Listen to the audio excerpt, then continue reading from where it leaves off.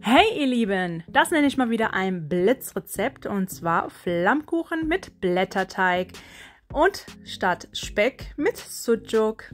Ich wünsche euch jetzt viel Spaß beim Zuschauen.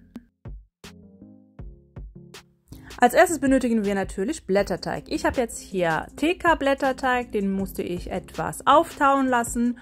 Den bemehle ich jetzt etwas und rolle ihn zu einem, ja, ich sag mal zu einem Viereck aus. Also etwas dünner als er ist, aber jetzt auch wieder nicht zu dick, äh, zu dünn ausrollen.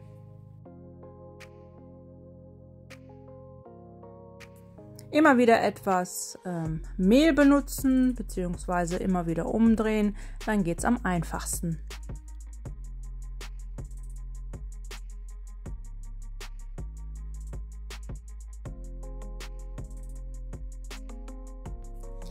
Wenn ihr dann soweit seid, könnt ihr dann einen Becher Schmand nehmen und den verteile ich jetzt auf die drei Blätterteige, die ich zuvor ausgerollt habe.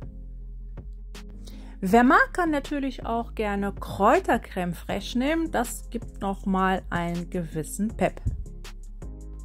Dann habe ich eine halbe Zwiebel.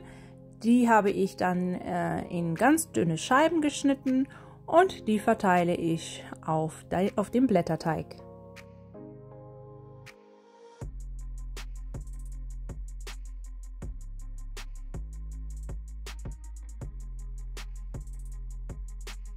Als nächstes habe ich hier Frühlingszwiebeln, das wird ebenfalls drauf verteilt. Auch eine Alternative wäre äh, zum Beispiel äh, Lauch bzw. Porree. Das Ganze würze ich mit Salz, Pfeffer und Oregano oder Oregano.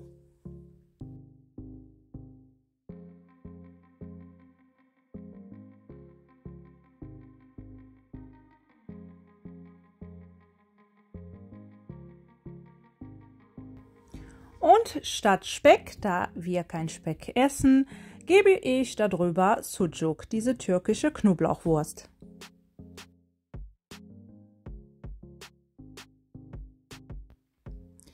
Und was darf natürlich nicht fehlen? Etwas geriebenen Käse. Nicht zu viel, so circa 2-3 große Esslöffel voll. Das Ganze kommt dann in den vorgeheizten Backofen bei 200 Grad Ober- und Unterhitze für circa 20 bis 25 Minuten.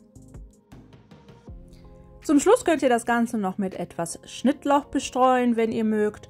Und dann wünsche ich euch einen guten Appetit. Falls euch das Video gefallen hat, hinterlasst doch gerne einen Daumen nach oben.